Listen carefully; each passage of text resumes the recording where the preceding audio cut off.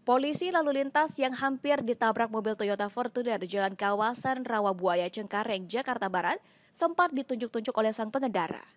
Diketahui Tribunus petugas itu adalah anggota polisi lalu lintas unit Cengkareng Aibtu Torus Marasi Perapat. Torus mengaku juga dicaci maki sopir Fortuner, padahal sopir itu diberi teguran lantaran melanggar lampu lalu lintas. Sopir Fortuner meminta Torus untuk menepi agar mobilnya bisa melintas. Torus mengatakan mobil mewah itu hendak berbelok kanan menuju tol Rawa Buaya menggunakan jalur 3. Seharusnya jalur ini dipergunakan khusus bagi kendaraan untuk lurus terus menuju Grogol.